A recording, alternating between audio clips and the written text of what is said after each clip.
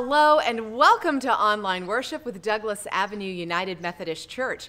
I am Reverend Meredith Manning Brown, our lead pastor, and on behalf of our staff and everyone who is helping to lead worship, we welcome you. We are so excited that you are joining in this time of online worship. It is Pentecost Sunday, a wonderful celebration uh, across the Christian church, across the world. So we're really excited that you're joining with us for this special celebration. I want to extend a special welcome to anybody who may be joining in online worship with us for the first time. We are particularly excited that you have chosen Douglas Avenue United Methodist Church, and we want to encourage you to fill out our contact form. It is pinned right in the comment section. I would like for everyone who's joining with us to fill out that contact form. This uh, allows us to be able to, well, connect with you, uh, to be able to uh, come up alongside you in your journey of faith, to be able to connect you into our e newsletter, which is the best way to get to know about everything going on with Douglas Avenue United Methodist Church. And then in that contact form, there is a place for your prayer requests that go straight to our pastors and to our prayer team. So please use that contact form today. Now, when we gather for online worship, we covenant together to participate and to be a blessing. Now, that covenant to participation is that, well, we're just going to go ahead and participate in what is going on in worship. When it's time to sing, go ahead and just sing out. When it's time to pray, join us in praying. We invite you to turn off other distractions and devices so that you can focus in. Maybe light a candle if that will help you to focus, and then just fully participate in this time of worship. And then we covenant together to be a blessing. And that means that the way we're in the comment section together, the way we may be uh, together with other people as we're worshiping, the way that we're with our community in the entire world, that all of it is a blessing to everyone. As we continue into our time of worship, I invite you to join with us now in centering with some music that is provided to us by our Wesley Handbell Choir. Welcome to worship.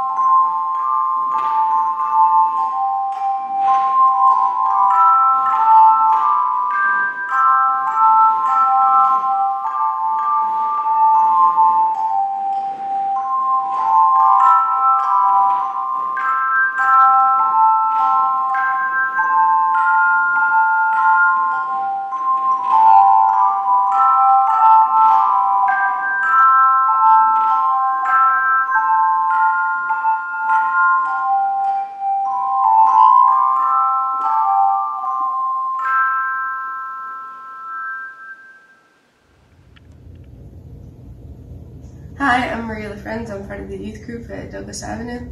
Hi, I'm Emily LaFrenz. I'm a member at DAUMC. Please receive this call to worship. We are all Jesus' church together.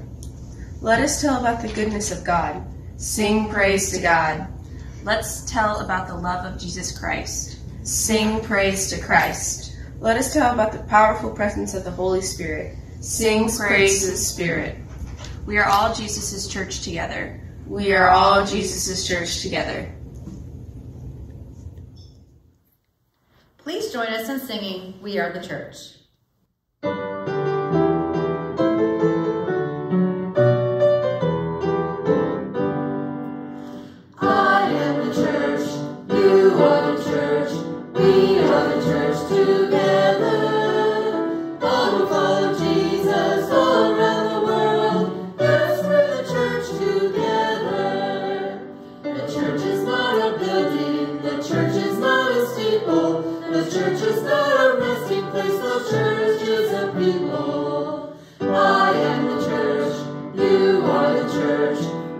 We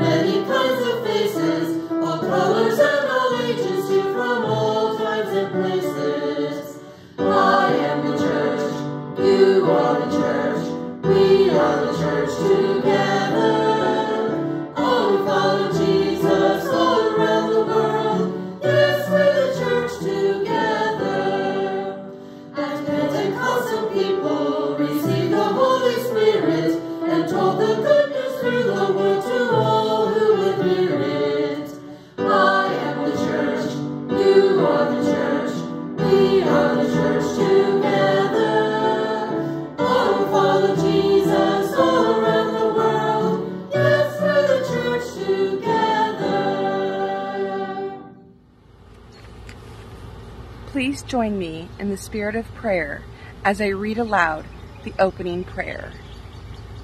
Spirit of God, present since before creation, fall upon us now. Whisper to us, shout to us, comfort us, discomfort us. We confess that we too often do not listen for your Holy Spirit. We close ourselves to your whispers and shouts, preferring the noise of our daily lives. We silence the wisdom available to us through your Spirit of truth. Open our lives to your holy whispers and shouts, that our very lives may be a testimony to your love and powerful work in the world. Amen. Receive this assurance. In the name of Jesus Christ, who sent us the Spirit of truth, we are all forgiven. Thanks be to God. Amen. I invite you now to continue sharing that love and peace and forgiveness with one another. You can do that by saying, Peace be with you, and responding, and also with you. You can do that in the comments section. You can, of course, do that with folks that you may be joined with uh, wherever it is you're worshiping today. And you can share peace with me as well. Peace be with you. Good morning. It's good to be with you. My name is Frank Beard, and I'm the resident bishop of the Illinois Great Rivers Conference. I'm also a wayward attender of Douglas Avenue United Methodist Church. I haven't been for a while, but I will return. I will be back. And uh, I look forward to joining uh, with you in worship and celebration. And of course, when we can eat again together, I look forward to that uh, as well. My wife, Melissa, and me, we uh, look forward to uh, being with you and we are so grateful and so thankful uh, for the ministry that you all engage in. And just want to say, hope that things go well today, that you sense the presence of Jesus, and the peace of God be with you. Hello, my name is Tom Crable. I'm a member of Douglas Avenue United Methodist Church. I serve on the Finance Committee and the Endowment Committee. Peace be with you. And also with you. We're the San Samaniegos. I'm Allison. I'm Albert. And this is Caleb, who's getting baptized today. Peace be with you. Hello, it is time for small talk. I want to encourage all of the children who are gathered with us in worship to come in really close to your device, to your screen, so that you can see and hear everything that goes on with small talk. Small talk is led by Miss Laurie, our Director of Children and Youth Ministries, and her assistant, Laud the Lamb. Let's see what Miss Laurie and Laud have for us right now with small talk. Hello, everyone. I am Miss Lori, and I am here with, we know Laud, Laud's assistant Cohen, and we have a friend joining us today, Barry. Barry the Basset Hound has come to visit Laud. So yeah, I know that's exciting. Well, today is an exciting day. It is a day of Pentecost. Now, Pentecost is when many of Jesus's followers had gathered. And God had promised at some point to return and to fill, to fill everyone with the Holy Spirit. So while everyone was gathered, a huge wind came up. Huge, right Cohen? So, to show wind,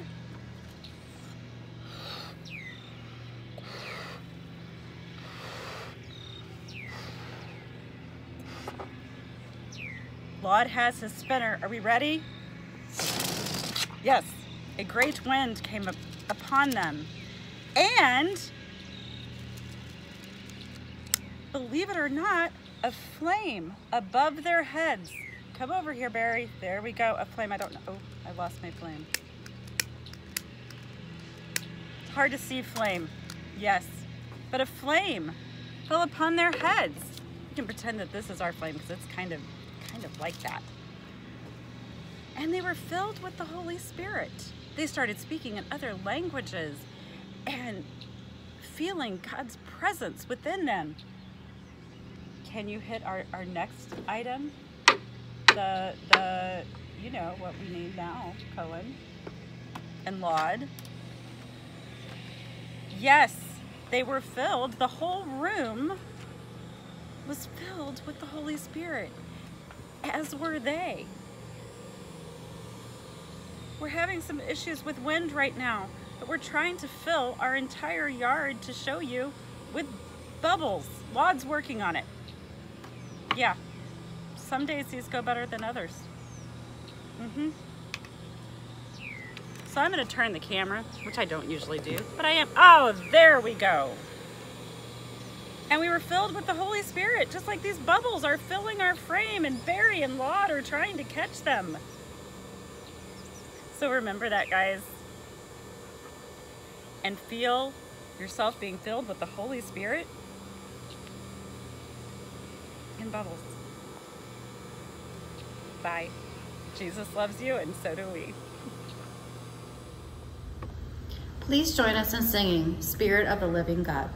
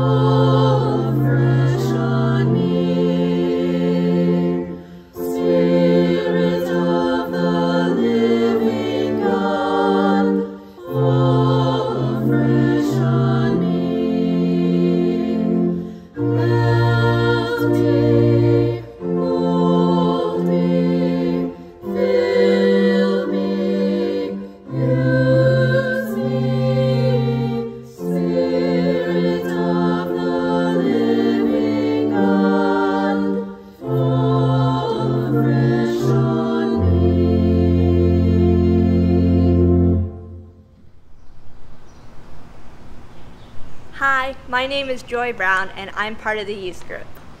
Hi, I'm Jill Gordon, and I'm UMW president. I'm Steve Dunker, and I'm part of the finance committee. Today's reading from the Bible is Acts chapter 2, verses 1 through 21. Let us open our hearts and minds to hear what God is saying to us through this reading. When the day of Pentecost had come, Jesus' disciples were together, and suddenly from heaven there came a sound like the rush of a violent wind and it filled the entire house where they were sitting. Divided tongues, as of fire, appeared among them, and a tongue rested on each of them. All of them were filled with the Holy Spirit and began to speak in other languages, as the Spirit gave them ability. Now there were devout Jews from every nation under heaven living in Jerusalem.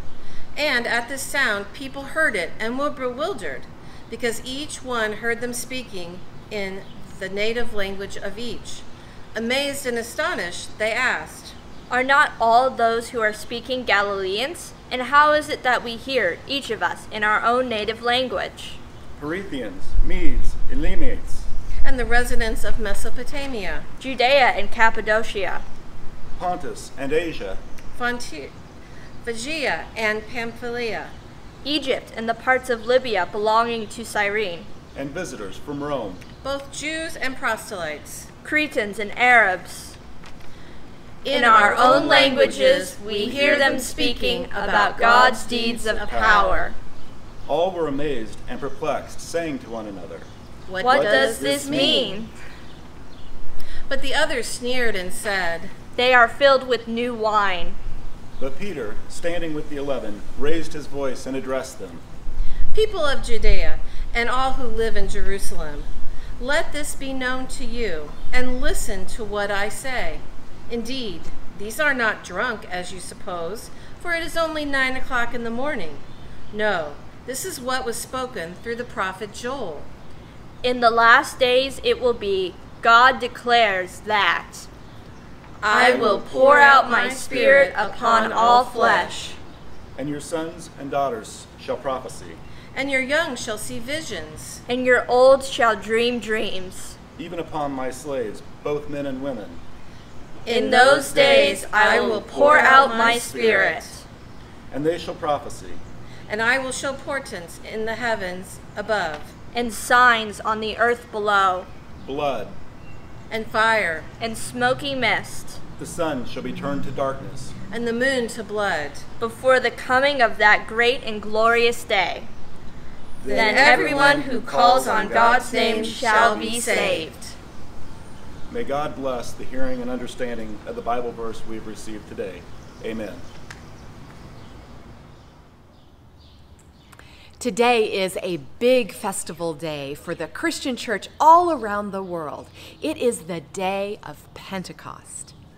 Today is when we recall the dramatic story of the Holy Spirit giving birth to Christ's church by energizing the disciples, Jesus' followers.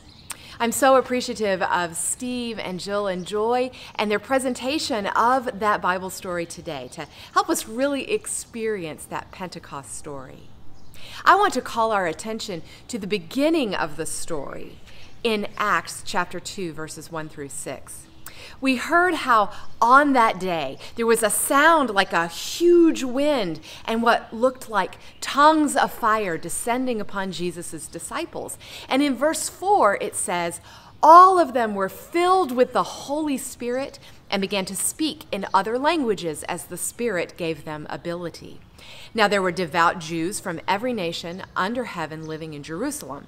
And at the sound, the crowd gathered and was bewildered because each one heard them speaking in the native language of each. When we tell this story and remember this story, we often make a big deal of the disciples' miraculous gift of being able to speak in other languages, and rightly so.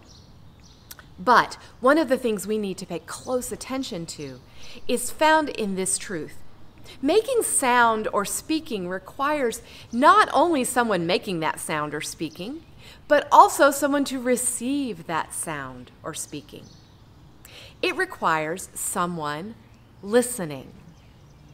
The miracle of Pentecost isn't just about speaking other tongues or languages. It's also very much about the gathered people being able to hear, to listen, and to understand. The church is birthed not just in the proclamations of what we say, the church is also birthed in the miracle of listening. Listening, really, really, and intentional listening. It's one of the most powerful gifts that we can offer our families, neighbors, church, and community.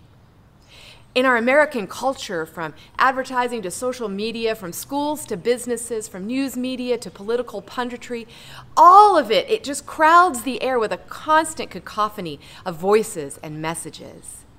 Too often, the church attempts to get our message out by trying to speak louder and louder only to be lost in the static of so many voices speaking at once. This is particularly difficult when the noisy airwaves are filled to the brim with the repetition of lies. A repetition that is designed over time to make people believe those lies are truth just because the lies get repeated over and over and over and over. In our current culture, stopping talking and truly listening really is a miracle. When we practice the miracle of listening, we put the other person at the center of our attention and focus on their story. It's not just being quiet, waiting for our turn to talk. Listening isn't just having some time while someone else speaks to craft a rebuttal to what they're saying. Listening also doesn't mean that we uh, merge ourselves into someone's life, inserting ourselves into their story, nor does it mean that we try to solve people's problems for them. It turns out most of the time, people don't need advice. They just need someone to listen as they talk through what's going on in their lives. When we listen, really listen to others, we set aside what we think we need to tell them and support their discovery of what they need to understand for themselves, allowing the Holy Spirit to do the work that only the Holy Spirit can do. I'm privileged to get to work as a leadership coach through the International Coaching Federation. And at the heart of coaching is the practice of asking questions and listening to others as the most effective way to help people discover their own solutions and strategies. I get to practice intentional listening to other leaders on a fairly regular basis.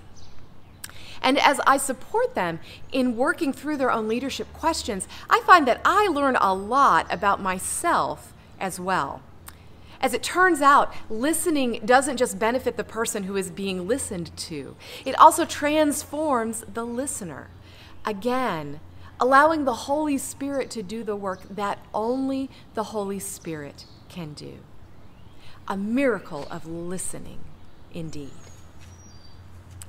Douglas Avenue United Methodist Church is excited to be a part of a statewide collaboration of the Illinois Department of Public Health and the United Methodist Churches of Illinois to encourage vaccinations in our communities. For us of Douglas Avenue United Methodist Church, that's our family, friends, and the neighborhood we are a part of right around the DAUMC facility. We're looking forward to holding a vaccination clinic at Douglas Avenue United Methodist Church sometime in the first week of June, and there will be lots of opportunities to help with that. So watch for that information. One of the things that has been interesting to me in this organizing process, particularly over this last week, has been thinking through strategies to talk with people who are hesitant or resistant to becoming vaccinated. It turns out that arguing with them, talking down to them, sending articles to them, or generally social media trolling or fighting has a very low success rate in helping unvaccinated people consider becoming vaccinated. Really, it requires more thoughtfulness and care to be helpful than to be right. On the other hand, sitting down with someone and listening to their concerns and asking them questions about how to resolve their concerns in an open, affirming, and supportive way, well, that is incredibly successful. If your goal is to prove that you are right, then you just go ahead and jump into as many arguments on Facebook, Twitter, and Instagram as you would like. However, if your goal is to help people be healthier, by being vaccinated or having a conversation with their primary care physician about their vaccine questions, then you're better off doing way more listening than talking. Listening has the power to change lives and to change our world. It is a gift of Pentecost given to the church by the Holy Spirit right at the beginning as we listen with care and concern to those around us, we offer ourselves as God's ambassador, the God who listens to our prayers, the Christ, Jesus, who always asked and listened deeply and carefully, the Holy Spirit who opens our ears to hear and understand. Our God invites us to engage in that same deeply spiritual practice. So, let us listen to one another. Let us listen to our neighbors. Let us listen to those in our households. Let us listen to those who are not like us. Let us listen to people of color. Let us listen to the Holy Spirit. Let us listen and be transformed. Amen. Please join us in singing Spirit of God.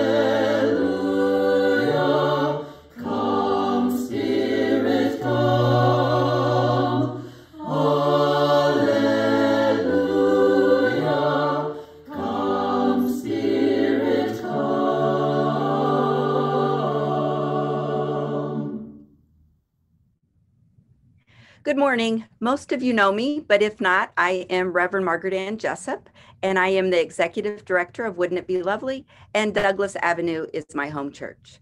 If you would please bow your head um, for prayer. Come, Holy Spirit, take and transform our hearts to be full of love.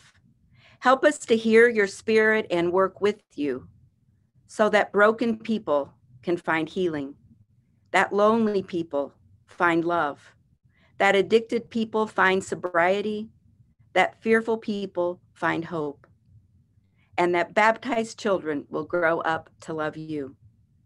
Come, Holy Spirit, take our world leaders and governments and bring renewal.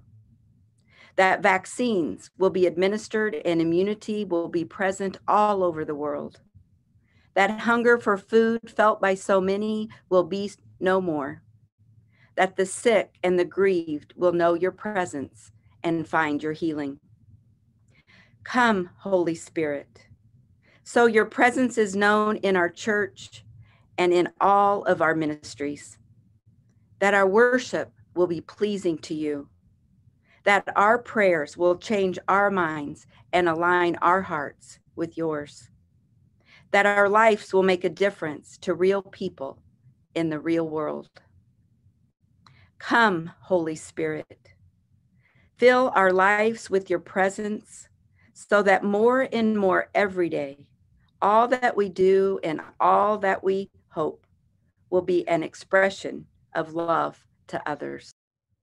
And if you would, I invite you now to join me in the Lord's Prayer. Please bow your heads. Our Father who art in heaven, hallowed be thy name. Thy kingdom come, thy will be done, on earth as it is in heaven. Give us this day our daily bread, and forgive us our trespasses, as we forgive those who trespass against us. And lead us not into temptation, but deliver us from evil. For thine is the kingdom, and the power, and the glory forever. Amen.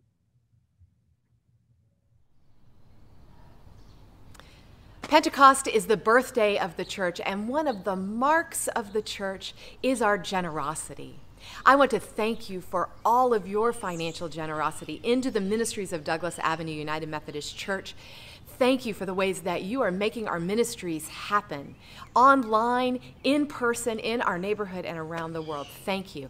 I want to encourage you to continue to give. You can do that with our online giving portal. The link to that is pinned right in the comment section. It is also available right on our webpage, so you can find it easily. You are welcome, of course, to give uh, to give in an automatic fashion through your financial institution or through ours. If you need help setting that up, just let us know in the church office, and we'd be happy to help you. And then, of course, you can send in your checks to Douglas Avenue United Methodist Church. We want to invite you to continue to join with us in online worship each week. You're finding us right here today. You can also join with us in in person worship as we continue with worship on the patio. That is outdoor in this beautiful place right here on Sunday mornings at 11 a.m. You can find out all the information about that in our e newsletter and on our webpage. And we want to encourage you to continue to connect your life of faith and growing in faith with opportunities for ministry. And I'm going to lift up a few of those. One of those is finally here. It's our next session of Vital Conversations on Race, which is this Monday, May 24th at 6:30 p.m. On your own, watch the wonderful documentary, part one and part two of The Black Church, which is available on PBS, and then participate in our online small group discussion as we're learning and praying with our Vital Conversations. That's again on Monday at 6:30. We're seeking to understand and dismantle systems of racism through continuing education, advocacy, and lifestyle changes. You can use the links in our e newsletter to sign up to participate or contact us in the church office so that we can send you the links. Now, the annual fundraising bike ride to support the His Home Orphanage in Haiti is coming up. It is the week of June 21st. If you are interested in riding a bike in this fundraising um, effort, and there will be bike rides all over our area locally going in and out each day, you are encouraged to check out all the information in our e newsletter or contact Kathy Lambden through the church office. Riders need to be registered by June 7th. You can also support the ride through our online giving portal. You can see the special drop down menu that is there, or send in your checks to Douglas Avenue United Methodist Church, designated to his home orphanage. And then we want you to mark your calendars now and register now for our summer's vacation Bible school, celebrating God's creation family camp for kids and for people of all ages. That's going to be Monday, June 21st through Thursday, June 24th from 6:30 to 7:30 p.m. And it's going to be an outdoor fun in-person experience with music and story and activities. Registration is available right now through our e-newsletter. Contact us in the church office to get registered as well or if you need more information. And as I keep saying that e-newsletter, it is the best way to um, know about everything that's going on and to be able to connect into the ministries of Douglas Avenue United Methodist Church, particularly as we gear up to hold our vaccination clinic in the next couple of weeks, the beginning of June. So please use that contact form. Make sure that we have your email address or call us in the church office to get you connected in that way. We love to be connected with you, to be able to help you grow in your faith, to be a part of your life. Thank you for all of that giving and connecting. Good morning. Please join us in singing Soul on Fire.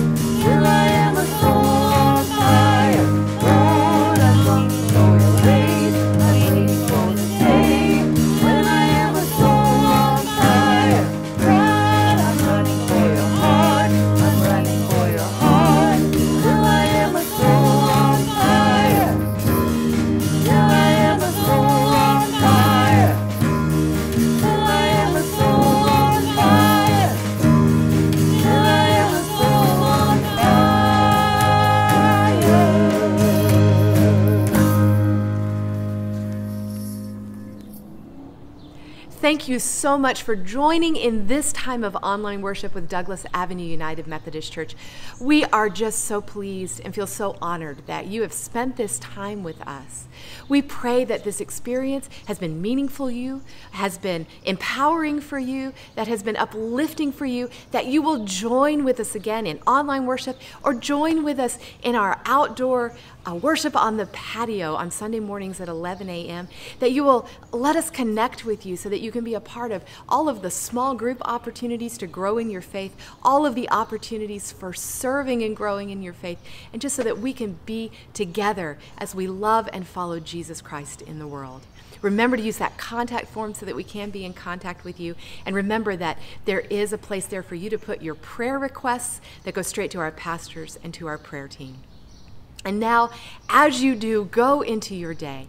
Go knowing that the God of love surrounds you entirely with love and grace, that Jesus Christ gifts you and loves you and is with you every day, and that the Holy Spirit is raining down power and love and purpose on each of us every day. Go with that Holy Spirit's power to be in service to our world. Amen.